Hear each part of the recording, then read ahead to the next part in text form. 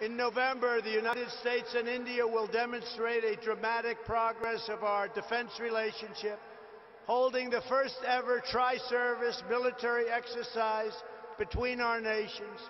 It's called Tiger Triumph. Good name. Good name. Very good name.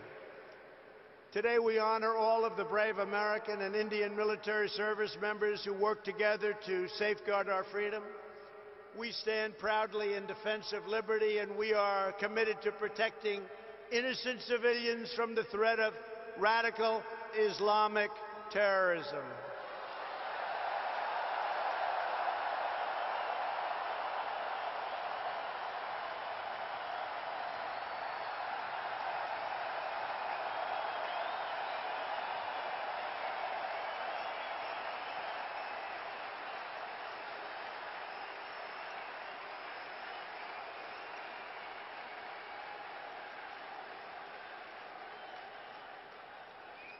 Thank you. Both India and the United States also understand that to keep our communities safe, we must protect our borders.